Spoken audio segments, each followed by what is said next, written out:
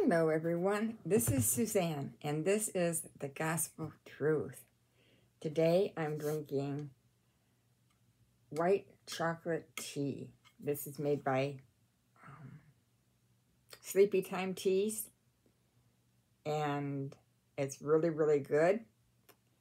And I'm going to enjoy a sip.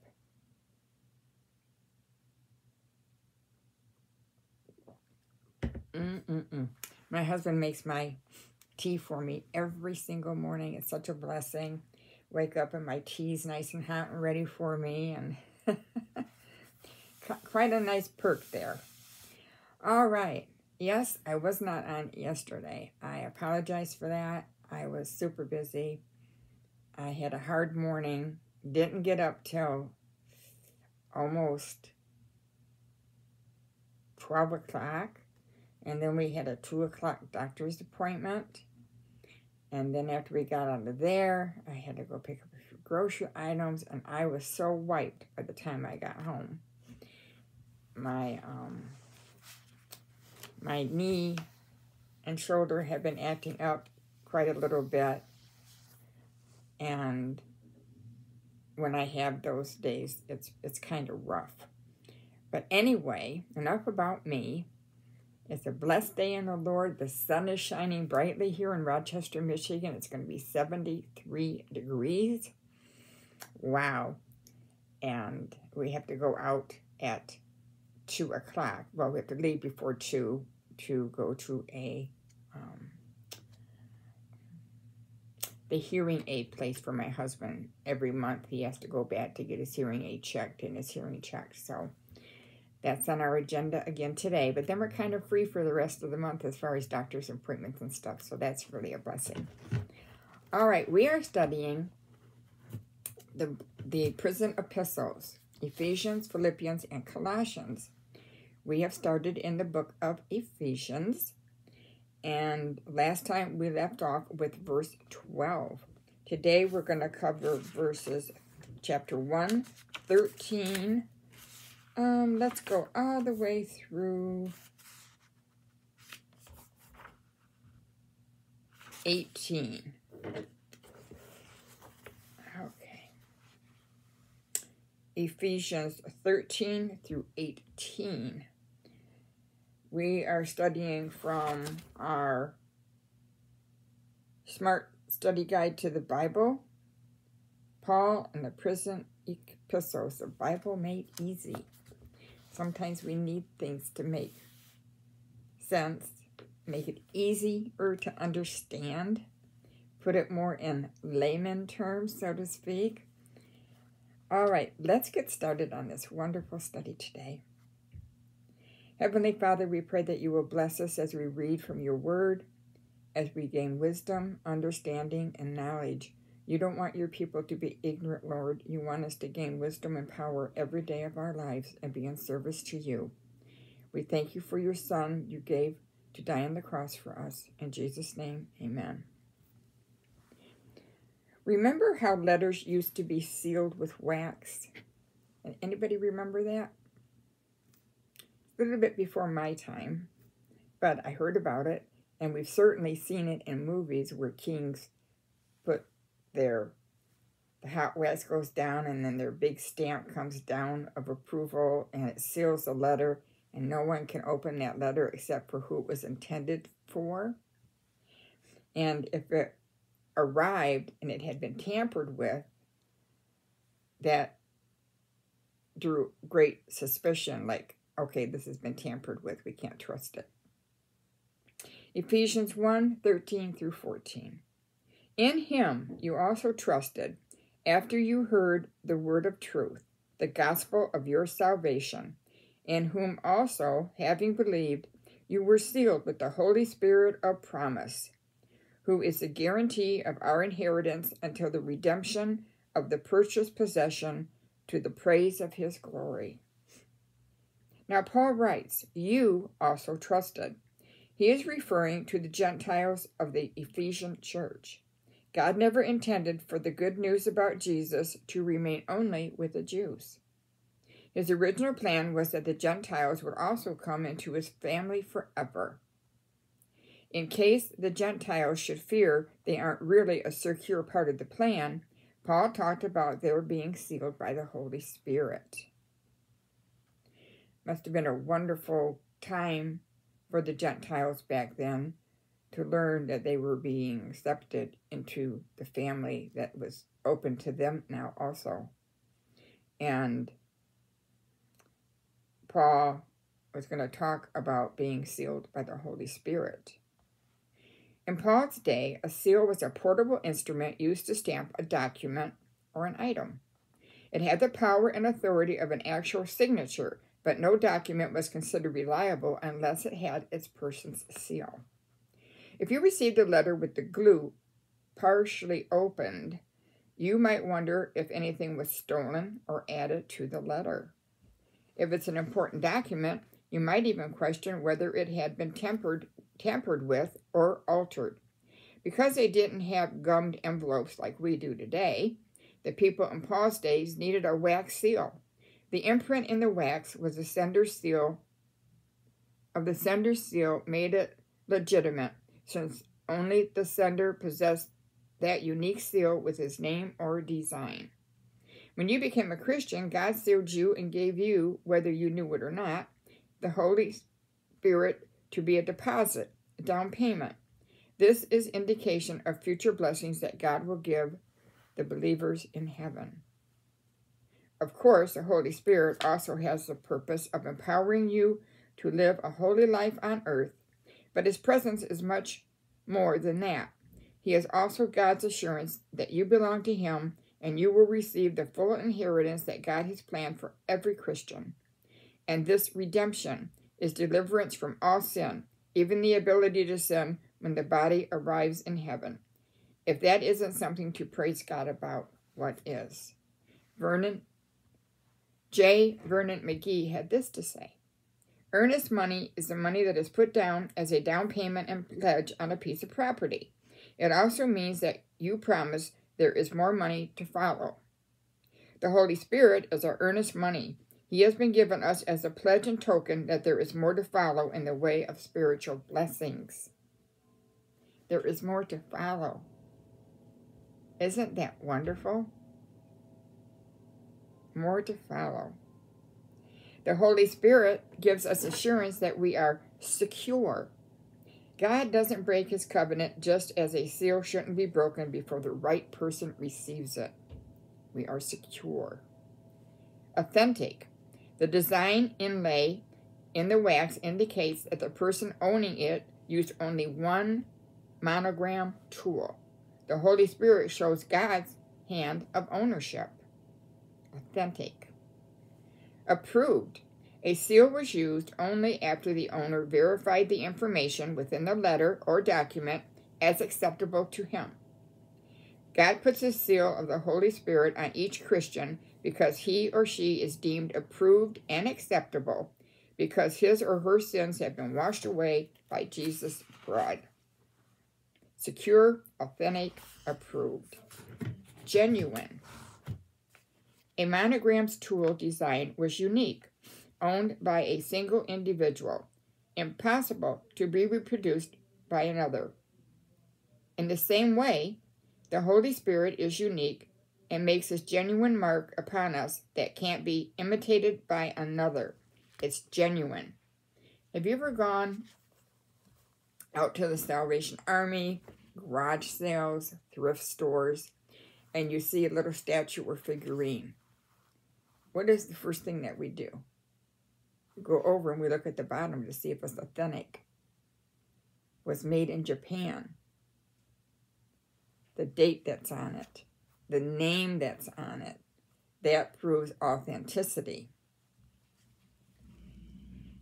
And the Holy Spirit, God gave us that Holy Spirit inside of us to teach us, to guide us in all things. It's a seal of approval. I think that's fantastic. So we need to pray in the Spirit every day. We are to bless the Spirit for helping us. We need to do the things the Holy Spirit guides us into. That's very important. If you saw the, the movies Toy Story and Toy Story 2, I have. Oh my, cutest movies ever. The mother of the son in the first movie had written the child's name, Andy, on the bottom of the toy cowboy's boot as a way to identify it as Andy's possession. Then, in the sequel, the cowboy is given a renewal job by the toy repairman, who paints over the name Andy on the cowboy's boot. Later in the movie, the toy is horrified to discover his owner's name is no longer there, and he wipes at the paint until the word Andy is again exposed. The identification had never been gone, it was just covered. In the same way, you and I have the same name, God's possession, written on our souls, and nothing, nothing can destroy that. At times, the name is hard to see because of our sin, but once we ask forgiveness, the name shows clearly again. Let's make sure the words God's possessions show at all times. When we go out and somebody looks at us, they just have this feeling, they know you're a Christian. You're a Christian. God's possession is showing. No Christian should think, well, I'm sealed and secure, therefore I can sin all I want not.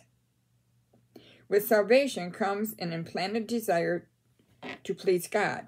We won't take advantage of the Holy Spirit's power all the time, but we do have his power so that we can obey God more and more.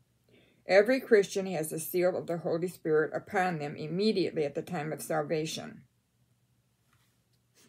In other books of the Bible, other aspects of our inheritance in Christ are also mentioned. We are justified. We are not condemned. We are set free from the power of sin and death. We are sanctified and made acceptable to God because of Jesus. We are righteous and holy of Jesus in us. At the resurrection, we will be made alive eternally. We are a new creation. We receive God's righteousness. We are one in Christ with other believers. We are perfect in God's sight. We are set free from our sinful nature. We will have eternal glory. Wow, that isn't something to look forward to. I've been praying for you from day one. Now, Paul begins to detail how he has been praying for this group of believers.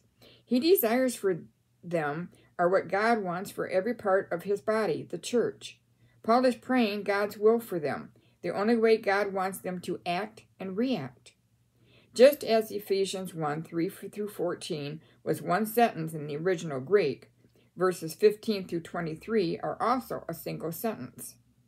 Paul wants the Ephesians and every Christian to look at their inheritance in Christ as a whole, not divided up so that portions can be chosen.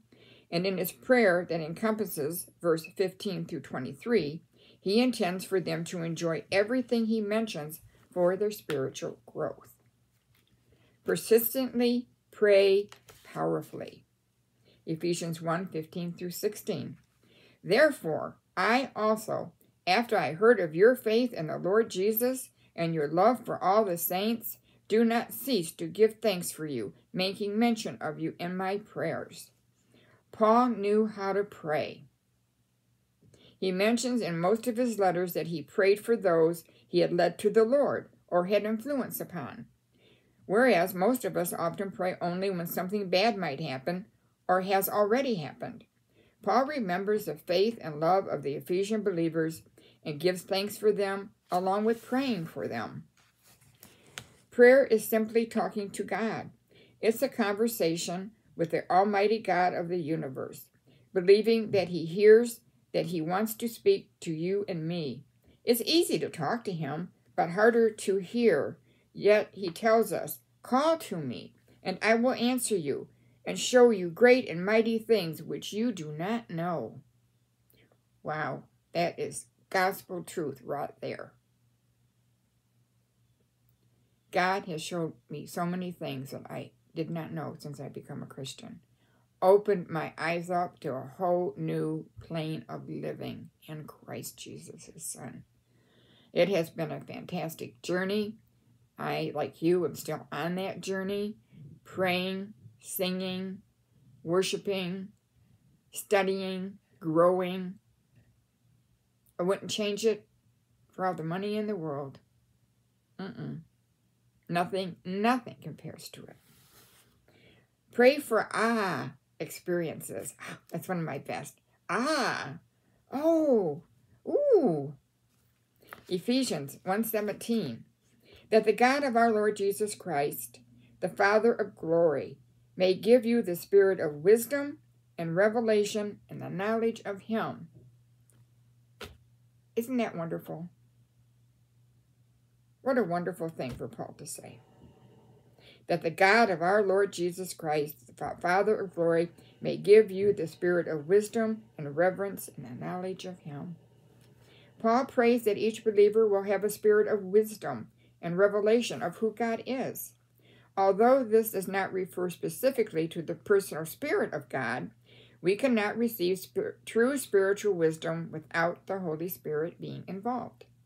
Paul had just written to these believers about all the benefits and joys they have as Christians. But would they understand its significance? Only the Spirit would make it important to real I'm sorry. Only the Spirit could make its importance real to them. When they understood that, then they would really get to know God. Paul's desire was ultimately that every believer would know God better. Without the spirit of wisdom and revelation that Paul mentions, a Christian could read their Bible and not receive anything from it. I read it. I don't understand it. I put it aside. Oh, because you didn't have faith to believe that the word was from God. You didn't accept Jesus Christ as your Savior. You weren't baptized. How are you going to understand? Because if you read it and you understood it, you've been blessed by God and you will follow all those things. You have to put effort into it. When I started to knit, crochet, do macrame, pretty punch, my knitting machine, any craft, anything I started out to do, I had I had to learn and I had to teach myself. But one nice thing, the scriptures teach you. Oh, and that's so refreshing. But with the Holy Spirit's input, a verse or passage can suddenly become alive and very meaningful. Even though he or she has read those verses many times before, Paul wants Ephesian believers to have such ah experiences. My husband mentioned the other day as he was reading his scripture reading readings for the day. He went, "Oh, honey, come here." And I go see what the hubbub was about. Listen to this, and he "I've read this a hundred times, and I didn't know this." It was such a delight seeing the sparkle in his eye in that ah moment.